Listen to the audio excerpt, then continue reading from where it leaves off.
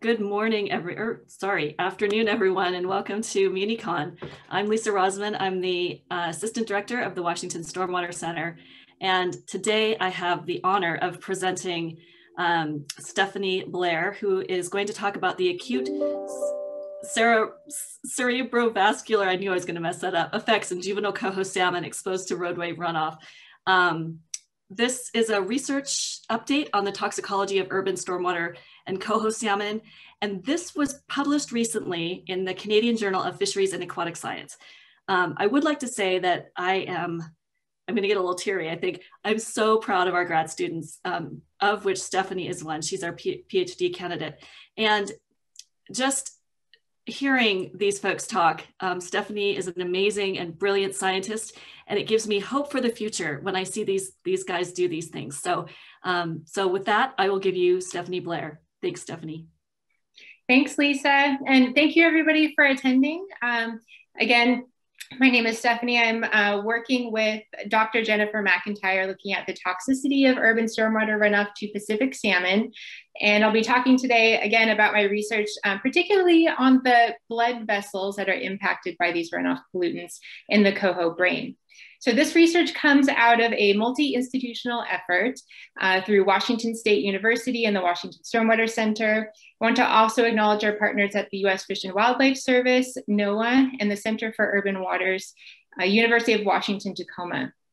I also have the great pleasure of working with Dr. Clyde Barlow at the Evergreen State College, who is assisting with the blood physiology and plasma leakage experiments that I'll talk about today. So the concern over stormwater has really grown in recent decades, particularly due to salmon declines and the acknowledgement that stormwater is a major source of pollutants in the Puget Sound region. With the ESA listing of Chinook and steelhead, it's even more critical that we address the problem of urban stormwater runoff, which has prompted our research group to really investigate the toxicity of urban stormwater runoff to Pacific salmon. So in our group, we focus on coho salmon because we know that coho are a very sensitive species to runoff exposure. And this problem came to light in the 1990s when high rates of coho pre-spawn mortality were documented in many Seattle area urban streams. There was also at this time anecdotal evidence that linked these recurrent die-off events to rainfall events and therefore storm, stormwater exposure. Post-project spawner surveys that were conducted in restored sections of urban streams observed really high incidences of fish like the one in this picture, a female carcass that's full of eggs, indicating that she had died before spawning. In healthy streams and in these restored uh, river sections, we would hope to see this, a female carcass that had successfully spawned before death and therefore is empty of eggs. So our partners at NOAA conducted a full forensic investigation to try to determine what was the cause of these pre-spawn mortalities. But they found that the fish were not dying from any known physical, chemical, or biological cause of fish mortality. Additionally, landscape analysis revealed that watersheds with higher impervious surfaces, roads, and traffic also had higher incidences of coho pre-spawn mortality, uh, also pointing to stormwater. Spawner surveys that were conducted over the entire fall season, year after year, showed very high pre-spawn mortality rates, such as shown in the figure here. Along the x-axis, we have Longfellow Creek in Seattle over a couple of years, Des Moines Creek and, and Pipers Creek, showing pre-spawn mortality rates as high as 63 to 100%. Now, these rates are particularly striking when considering that in non-urban watersheds, such as Fortson Creek on the far right of this figure, Coho pre-spawn mortality rates are usually less than 1% in healthy streams. So at the really high rates of pre-spawn mortality, we know that these coho populations are really unsustainable, and that doesn't seem likely to change in West unless we address the problem of stormwater runoff. Now in our lab, we study a very particular type of stormwater, which is roadway runoff. And there's a couple of reasons for this. Um, the first reason is that you know the landscape analysis really pointed to roads and heavy traffic as being a strong predictor of coho pre-spawn mortality risk. And secondly, exposure experiments to adult coho that were conducted using roadway runoff from this section of 520 in Seattle showed that coho were really dying in the same way in exposure to pollutants coming off these roadways. And what I mean by that is the acute mortality response was elicited by this exposure. They also developed very similar behaviors and uh, symptom development is what was observed out in field studies. And additionally, coho were found to be more sensitive than other species such as chum. And this matched field observations where following a rainfall event, there would the streams would be strewn with carcasses of um, pre-spawn mortality coho, but chum really seemed to be successfully spawning. Now, uh, at this time, there are you know, hundreds or potentially thousands of pollutants that could be found in roadway runoff. Uh, you can see by the pictures at the bottom that that beaker is containing roadway runoff that's really a dark color, indicating there's a lot of material coming off of these roadways. So it really seemed at first like a needle in the haystack to try to figure out what exact pollutant might be driving uh, this, these mortality symptoms. But thanks to the wonderful work by our, our partners at the Center for Urban Waters, our um, analytical chemistry collaborators there, uh, they conducted fractionation studies using tire wear particle leachate and we're able to sift through hundreds of contaminants to find really a single contaminant that elicits the same acute mortality response and also the same results that we are seeing in the chum versus coho mortality studies. And that chemical um, was a tire chemical called 6-PPD quinone, which is a transformation product of a chemical that is found in tires that protects the tire surface. And so it's very commonly added to passenger tires, which make it, makes it a very ubiquitous contaminant. And so the fact that um, this contaminant uh, was found to be acutely toxic to coho was really wonderful. Um, but it is an unknown chemical, so we don't know anything about its toxicity other than the response to coho, which makes it a particular challenge to figure out how this chemical might be driving the biological effects. So that's where my research comes in.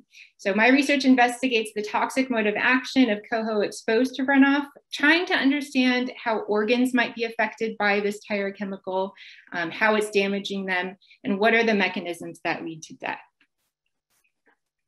We believe that the cardiorespiratory system is mainly targeted uh, by the contaminants in runoff. And that's really driven by the behavioral symptoms that you see in this symptomatic fish that's being exposed to 50% roadway runoff.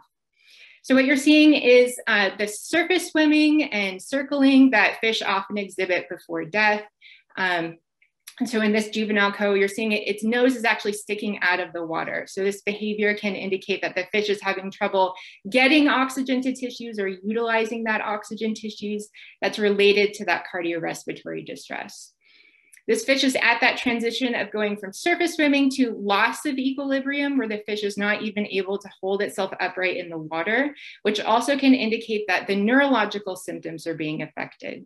And these symptoms really develop very quickly, so within a period of four to seven hours after exposure to the runoff. Now, in studies previous to mine, there have been a slew of blood physiology parameters to try to pinpoint what part of the cardiorespiratory system may be damaged. And one parameter that really sticks out as very consistent and dramatic is a hematocrit rise. So hematocrit is the percent volume of the blood that's taken up by the red blood cells. So the higher the hematocrit, the thicker the blood. Now, fish are really known to have a hematocrit rise in response to stress. It's just considered a general stress response. And the reason for that is if they have more concentrated red blood cells and hemoglobin that carries oxygen within those cells, it does help to help push more oxygen and get it to tissues. But there's a threshold where if the hematocrit becomes too large, the blood becomes too thick to really move and to circulate um, to be able to even deliver oxygen. So what you're seeing in the figure here is uh, the fish juvenile coho that are exposed to 50% roadway runoff. And you're seeing the individual hematocrits uh, by each of these triangle, uh, red triangle points. And what you're seeing is that hematocrit can rise up to 70 to 80%, which really is quite severe and indicates it could be past that adaptive threshold. Now, to give you a little bit more information on other studies that have looked at general stress responses in salmonids uh, to different types of um, stressors such as acute hypoxia and exercise stress. Um, this table here is giving you a figure of how those stressors affect hematocrit. So in these controlled experiments that used rainbow trout, uh, Chinook, and coho, uh, you can see here that baseline hematocrit levels in the control group can vary between 20 to 40%. And then when these fish are subjected to stressors, that elicits this general stress response. It can increase hematocrit up to six to 10 percentage points when subjected to hypoxia. And the maximum hematocrit values we see from these studies is around 50%. And then similarly, when the fish are subjected to acute exercise stress, it can increase up to 17 percentage points, but we're really seeing that maximize out at around a 40% hematocrit.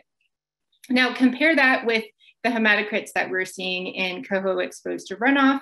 The hematocrit is increasing by 12 to 42 percentage points, and we're seeing hematocrit values as high as 70 to 80%, which is nowhere seen in these studies that are conducted looking at general stress responses. So this is really pointing that something pathological is happening that could be related to death. So the jumping off point in my thesis research was really to look at explanations for these hematocrit rises um, as related to cause of death. So to start my experiments, I started by collecting roadway runoff, uh, collecting grab samples from a heavy traffic section of Highway 16 in Tacoma, Washington. And then I froze the storm water before the exposures. And this is really for feasibility. So it takes quite a while to set up the exposures, wait for them to develop uh, symptoms, and then uh, sample and prepare the tissues for these studies. So in order to make these studies feasible, I had to freeze the stormwater first. Now, after thawing the stormwater just prior to experiments, they're diluted to 50% in these 30 liter glass aquaria, which are housed in a temperature controlled water bath. And the exposure continues until the fish develop symptoms and they're sampled at the loss of equilibrium stage. And each runoff fish is then uh, compared to a paired control. So a control fish is then sampled after the runoff exposed fish develop symptoms. Now, in the initial blood physiology studies, I looked at three parameters to help explain the initial mechanisms of hematocrit rise. So the first one is mean cell hemoglobin concentration in this figure. And that's the concentration of hemoglobin that's within the red blood cells themselves. Next, I also measured total hemoglobin, which is the total hemoglobin concentration of whole blood. And then the third parameter in this figure is hematocrit. Again, the percentage volume of the blood that's taken up by red blood cells. I used multivariate statistical methods to analyze the difference between control and runoff groups, and also to identify if there's statistical significance for each of these parameters. So what the figure here is demonstrating is that we did see a significant decrease in the mean cell hemoglobin concentration, a significant increase in total hemoglobin, as well as hematocrit, consistent with previous studies. Now, what these parameters mean is that there are multiple mechanisms of hematocrit rise taking place, and so this diagram helps to kind of explain three basic mechanisms of a hematocrit rises in fish and how each of these parameters helps to identify which of these uh, mechanisms are present.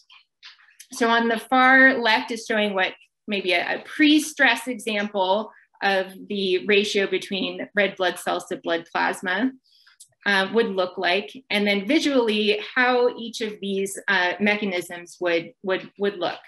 So in the first mechanism, we have red blood cell swelling. This is also, you know, something that occurs when fish are stressed. The cells actually take in water. And as they take in water, the red blood cells expand, they take up a larger volume, which increases hematocrit. And it also dilutes the hemoglobin inside the cells, which is why we see a decrease in mean cell hemoglobin concentration. Now, if red blood cell swelling was the only reason for hematocrit rise, we wouldn't see a change in the total hemoglobin concentration of whole blood. So because we did see that in the previous slide, we know that either red blood cell recruitment and or plasma loss is also taking place because of that increase in total hemoglobin. Now, red blood cell recruitment is also known to occur in fish they actually store red blood cells in their spleen. And when they're stressed, they can contract the spleen to push more red blood cells into circulation. However, this really only has a slight effect on hematocrit. You really wouldn't see dramatic hematocrit rises with this mechanism. So this really points to plasma loss as being uh, one of the primary points of interest in explaining these severe hematocrit rises. So the next stage of my, of my experiment was to look at two potential mechanisms for severe plasma losses. And so I tested each of these hypotheses. The first one is that the plasma could be lost from plasma dehydration if the chemical is affecting the osmoregulatory system of a fish, uh, which controls the movement of ions in water between the vascular system and the tissue space. So if plasma dehydration is occurring, then water is actually leaving the blood vessels. And then everything that's left behind would be severely concentrated inside. So to test for that, I measured three types of plasma constituents. So I measured total protein. Um, there's all different kinds of carrier um, proteins, transport proteins, um, uh, regulatory proteins within the blood plasma. A very abundant protein is albumin which is very rich in these thiol groups. So I measured total thiols as a proxy for this particular protein, albumin. And then I also measured antioxidant power. So the plasma has many types of antioxidants like vitamin E, vitamin C, uh, albumin, bilirubin. So this measurement measures the total reducing power of all these antioxidants combined. And then collectively, what I predicted is that uh, plasma dehydration was occurring I would see a dramatic increase in the concentration of these plasma constituents. Now, in the second hypothesis, uh, it may be that the red blood cells um, or the blood vessels can become leaky and whole plasma may, may actually be lost. In that case, we might not necessarily see an increased concentration of those plasma constituents. So in the first hypothesis, uh, that I tested, looking at the blood plasma results, I see that there really was no change in antioxidant power or in total thiols, which discounts the presence of plasma dehydration by osmoregulatory disturbance. There was, uh, with statistical testing, maybe a slight increase in plasma protein. Uh, this could be potentially explained by just the, the stress itself of being exposed to pollutants until death. Um, that stress can elicit proteins, uh, inflammatory proteins, and um, uh, circulating um, cytokines that can uh, potentially explain the slight increases in proteins that we were seeing.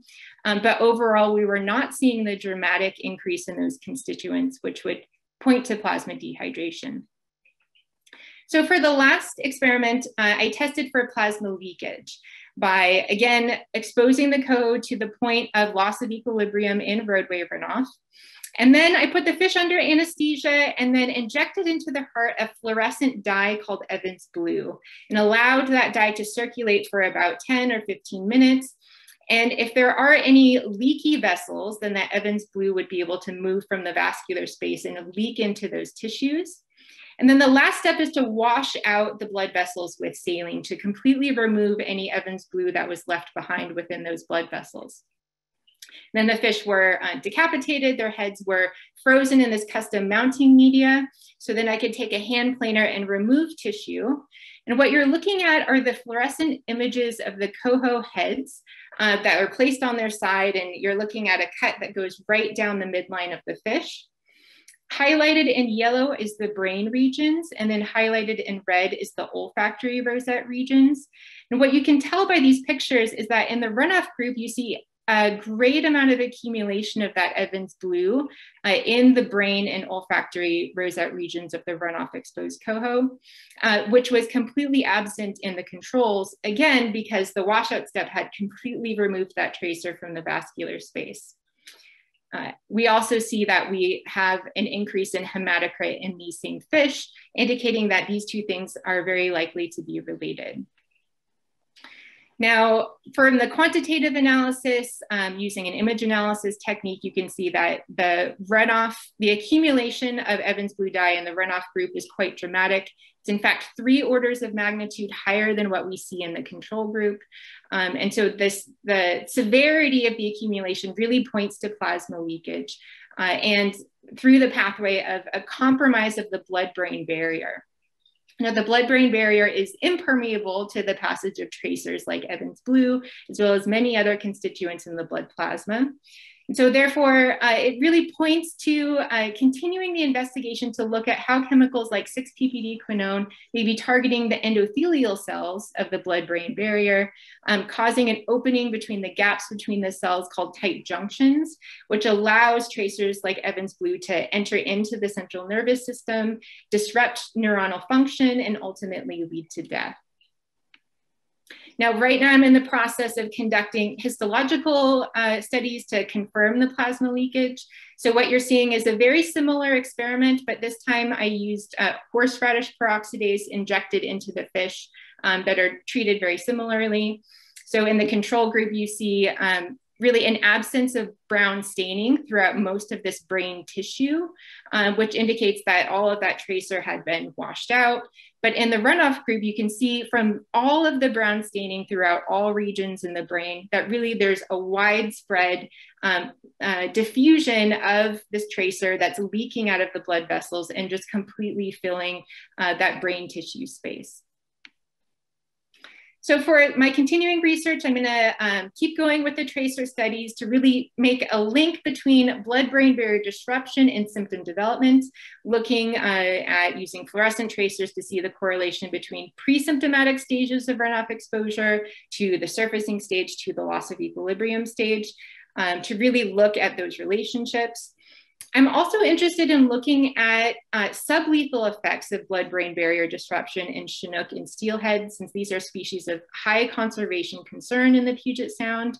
Uh, we know from previous studies that the Chinook and steelhead are vulnerable to stormwater, but they're just not as sensitive as coho, meaning that there may be some mortalities, but it's nowhere close to what we're seeing in coho.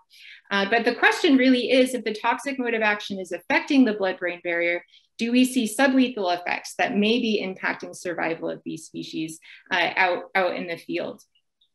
And then lastly, what I really want to pinpoint is potential pathways linking how contaminants like 6-PPD quinone might be affecting the blood-brain barrier. Uh, and the purpose for that, it could be really useful in developing more targeted assays that are more sensitive in evaluating the toxicity of stormwater pollutants, as well as evaluating the effectiveness of green stormwater infrastructures at removing that toxicity. And lastly, I'd like to um, give a special thanks to all of the technicians and graduate students and collaborators that helped make this research possible. Um, thank you all for listening, and I would be happy to answer any questions. Great. Thanks so much, Stephanie. That was an amazing um, presentation. We do have a couple of questions. Um, let's see. So the first one is, if the tracer can get into the brain, why is it not also washed out? Does the tracer get washed out in the control group or is it never getting in? That's a great question. So um, yeah, so the, the tracer is getting into the brain. I'll go back to the figure to help kind of demonstrate.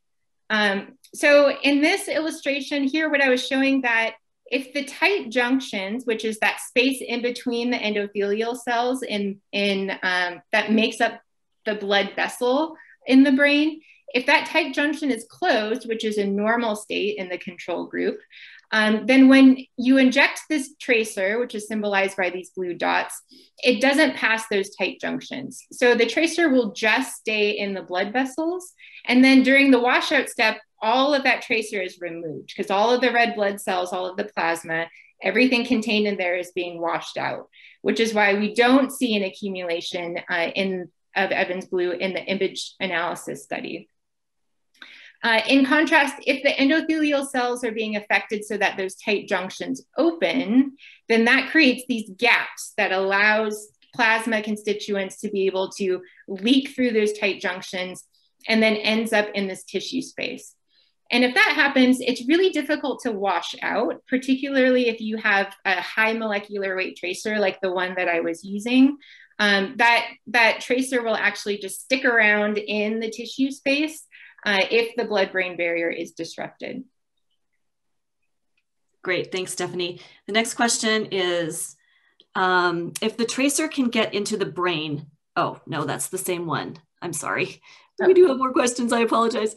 Um, uh, okay, in your opinion, is there a simple method to test our streams to better understand which streams have a high potential for pre-spawn mortality?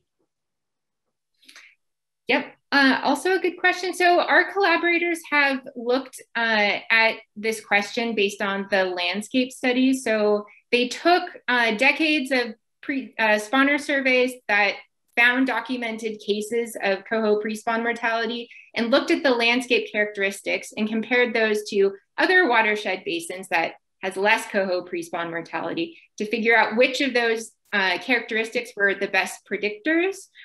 And so based on that, we do have a way to look at which watersheds have more traffic density, have higher impervious surfaces, to be able to um, predict streams that haven't been surveyed um, that might have a high risk of coho pre-spawn mortality. So there's a couple of papers. Um, the lead author was Blake Feist, who published two papers on this topic. Um, I could definitely um, point you um, to those papers because uh, they really give an excellent description of the process. And then also they have maps that kind of you can actually work with to um, pinpoint specific locations or streams that people might be interested in surveying in the future based on that risk. That is a great resource. Stephanie, can you drop the link in the chat if we have time? Sure.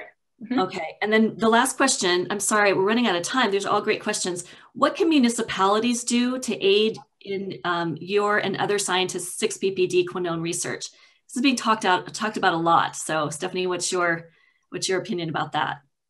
Oh, I mean, we have so many great research questions and just like not enough time or resources to be to investigate all of them. So um, yeah, I mean, it'd be great to just have more funding, have more grad students, you know, have um, yeah, have more time to be able to to track down all of these questions. Um, but you know, I, I think that our work is definitely getting the attention that it needs and it deserves. So other research groups can start um, building on a lot of the work that we're doing. Uh, which is why you know it's important for us to share you know as our research is is taking place you know what the results are with the community and to let them know about um, this problem and to let them know how important it is to keep investing in it right um, it looks like Heidi Siegelbaum put the link in the chat box. So that's perfect. Thank you so much. Um, all right, with that, I think we are out of time. So thank you again, Stephanie. That was an amazing presentation. And these presentations will all be um, up on our website in a couple of weeks. So if you want to watch it again um, and the other ones as well, uh, you can do it then. Um, otherwise, thank you all for joining us and take care. Bye. Thank you.